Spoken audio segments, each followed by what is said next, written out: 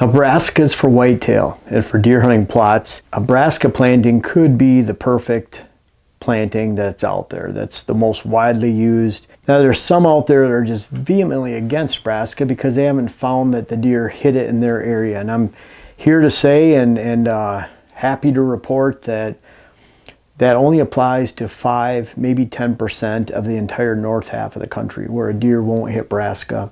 We'll just discuss why really quick. Um, typically where I find brassica, the deer numbers are low, probably lower than they should be. Um, high percentage ag areas where there's a lot of food and often they have not been planted effectively with complementary food sources that establish a pattern of use early. And then there's sometimes they're not mixed well or even included in a mix at all. So you're just planting single brassica varieties.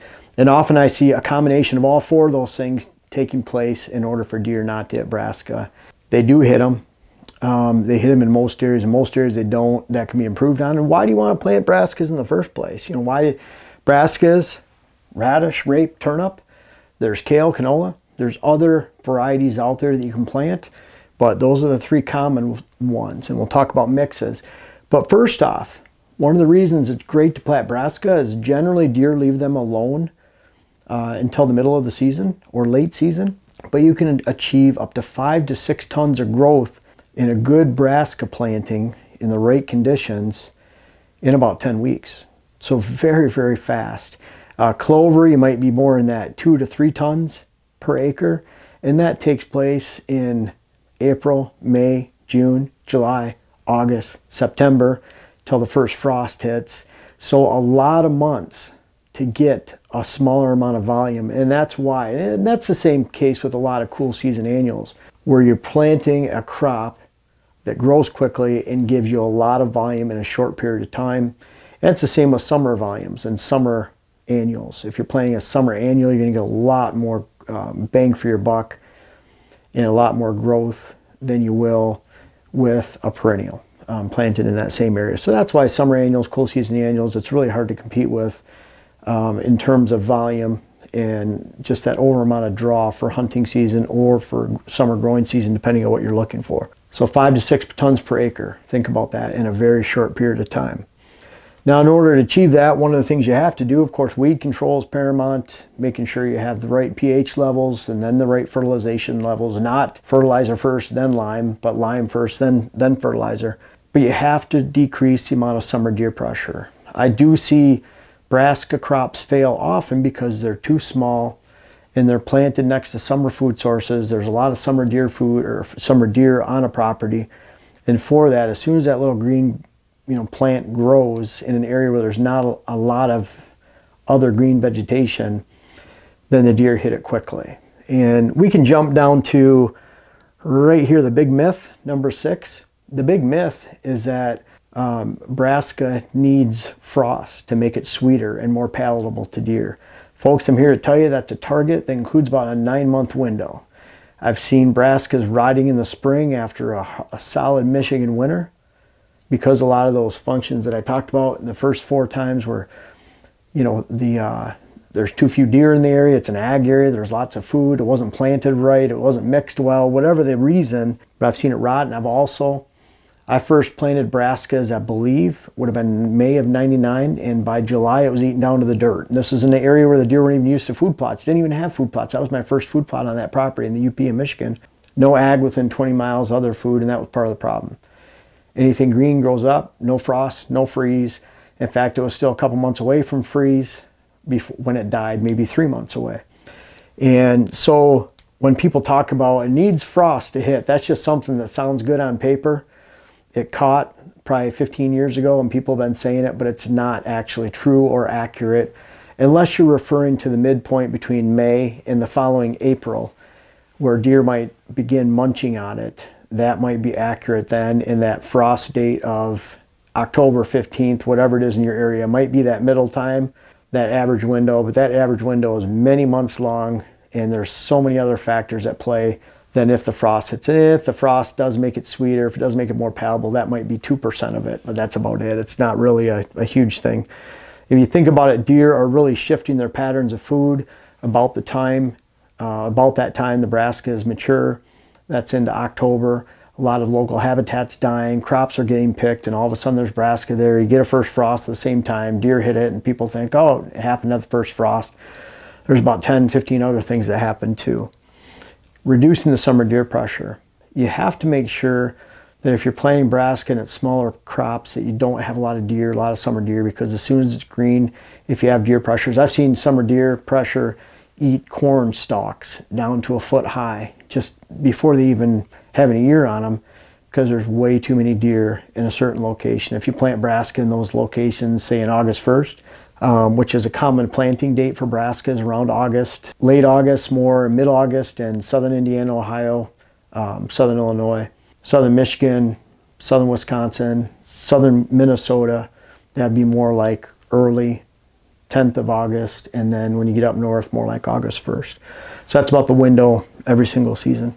You need to command the fall use and the fall timing. And what I mean by that is really take control of making sure that the deer are eating it when you need them to eat it. The timing and use that I see is the typical area where you're doing it right and it fits the deer herd.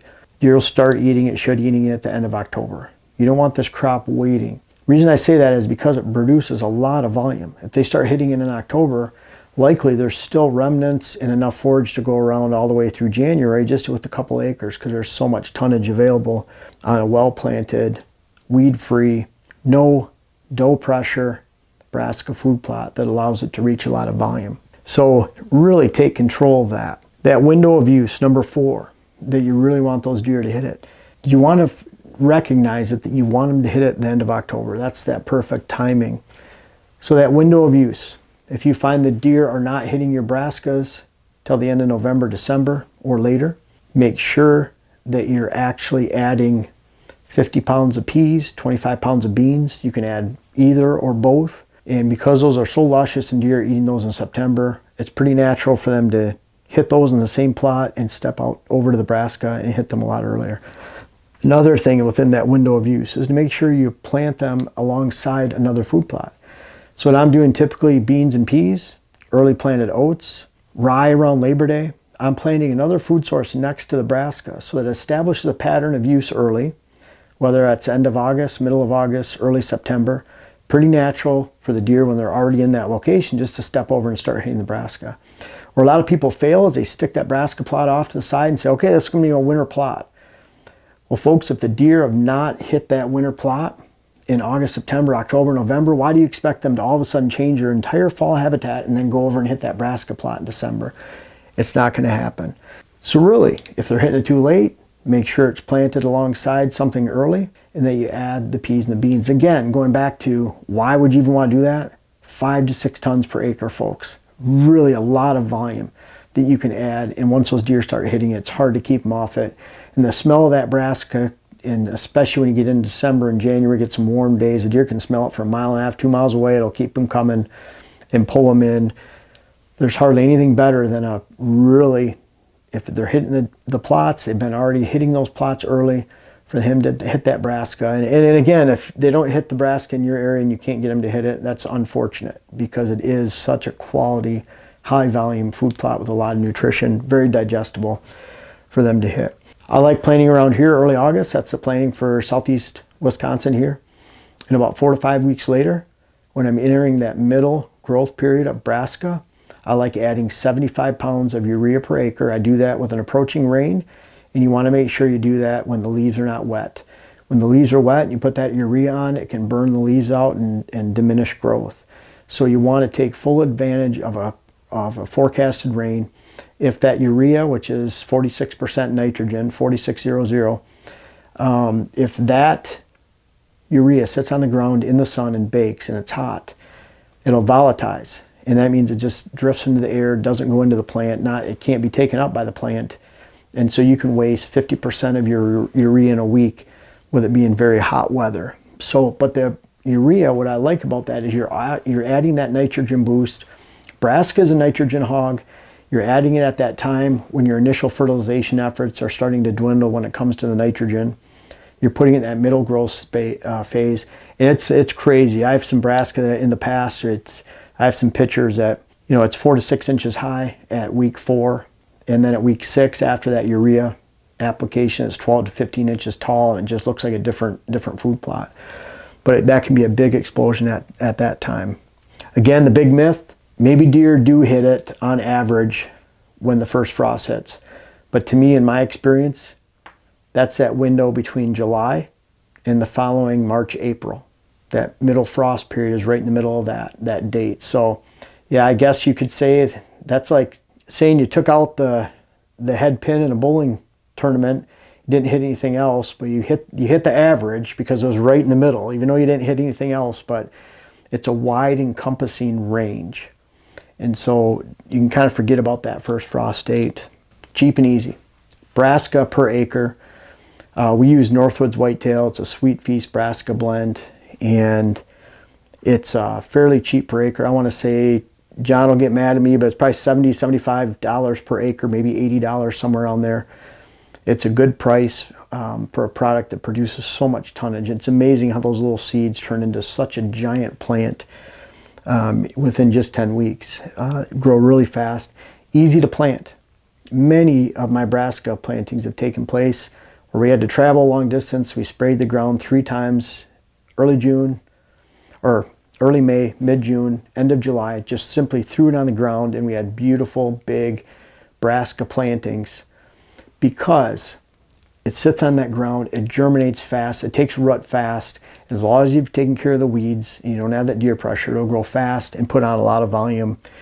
Extremely easy to plant. You can do it with very minimal equipment, just even a backpack sprayer to eliminate weeds, just throw it on the soil, and there you go. Complementary seeds. Eh, back in the late 90s, I first tried it with clover. I'm not sure if anyone else was doing it at that time, but it was a great way to establish my clover. I was taught you spray the ground, get it open going into the fall, and then you frost seed clover in the spring. And I looked at it like it's a huge sin just to have an open field of soil going into the fall. So I thought, well, I'll add that to the brassica blend. I checked with Jim Islub, the county extension agent up in the UP. He said, yeah, that should work. And boy, did it ever. The brassica would die out or get eaten down to the ground during the fall and then winter, and I was left with pure clover in the spring. Great way to establish it. And so I started doing that in the late 90s, and it's easy, something that you can do very easy. That's a great complementary seed, clover, that you can add to it. You can also mix beans and peas into it. You have to drill those or cover them up. Um, they work great in the buckwheat no-till uh, method that I do, the ultimate no-till blend, easy to plant brassica. If you want to add, if you want to sweeten the brassica side, you can easily add beans and peas to it and get that to grow. Great complementary seeds no grain mix, number nine. What does not mix well and run. And again, I talk about a lot of seed blends that you see online. If you see oats, rye, wheat mixed with rape, turnip, radish, not a good mix. Reason why? Brassica needs to be planted in most areas early August. If you're if you're planting early August, you should be planting your grains about four weeks to five weeks later. So there's a four to five week difference of, of uh, window of planting between a brassica blend or a brassica crop and a cereal grain blend. The reason that's important is the cereal grain blend will outcompete the brassica. The brassica will outcompete the rye. They fight each other. They fight each other for nutrients. All of them are uh, nitrogen hogs. And so it stunts both, especially the brassica blend. And you need to be very wary of any mixes that include them at the same time because they're drastically different windows of planting. They're not going to help you you need to plant those separate. There's a lot of times I'll overseed rye into brassica later in the season, especially September, late September, if I see that brassica has been overbrowsed or it's gotten droughted out, didn't grow well. You can always add two to 300 pounds of winter rye, depending on if it's early September or late September. Later, you plant more, but you just broadcast it right over the top. It'll salvage the plot, salvage your brassica uh, plot, and you can have a have a good, really good mix going for. One of the things that I didn't mention right here with brassica, you have to stick. So if it's six pounds per acre, stick to six pounds per acre. Now sometimes in the ultimate no-till, I'll add another pound in that case, just another 15%, 10%, because I want to make sure that anything's covered up by the buckwheat. There's another seed next to it that'll take off and you're still hitting that mark, just a little bit extra. But you're better off, this is a six pound mix. You're better off putting four pounds. That's good. than you are putting eight pounds out or nine pounds out because Just like bluegills in a pond, if you stick too many together, they're going to be stunted. It's the same with, way with brassica. You have to plant in the right window. There's so many times I go to a spring food plot and I'm on a client property and there's little brassicas that are only three inches high, two inches high. They almost look like they're still alive. It's because they planted them Labor Day. They planted them five weeks late, six weeks late. Always think about that brassica might grow eight inches, six inches in the first month, and then it might grow up to 15 inches the second and third month. And what's cool about that is you can get giant volume towards the back end. The bad thing is, is that if you plant about five weeks late, you're missing about 15 to 20 inches of growth on the back end. And so you're gonna have a very small, low volume crop. So you need to plant with the right timing, especially with rain in the for forecast. Doesn't need a lot of rain, but it just needs appreciable rain. And finally, number 10, try to find quality mixes of brassica.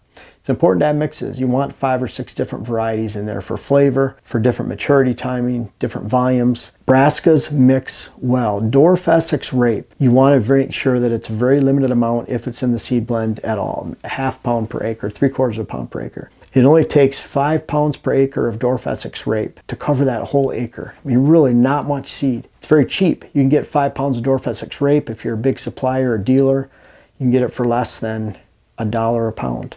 So when you're buying something at $75, $80 a pound and it has a high percentage of Dwarf Essex rape, that's the cheap filler that is used and designed to suck more hunting dollars out of your wallet and they don't call it dwarf for nothing. There's not a lot of volume there.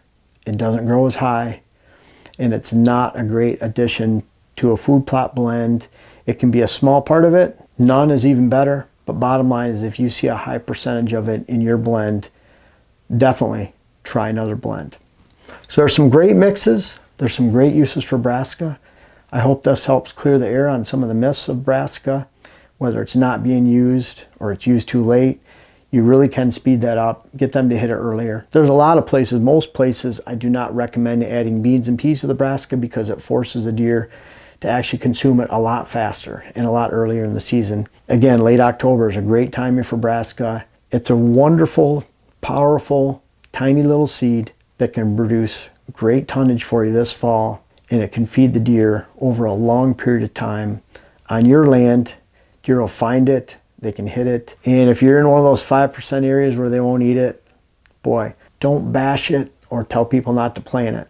Always keep in mind that you're the rare exception and not the majority. Make sure you're not giving advice to other people. It could be even just five miles down the road. Their conditions could be completely different. Count yourself lucky if you can plant brassica and get into that late October timing because it's a wonderful tiny little seed that can really help you achieve your deer goals this fall.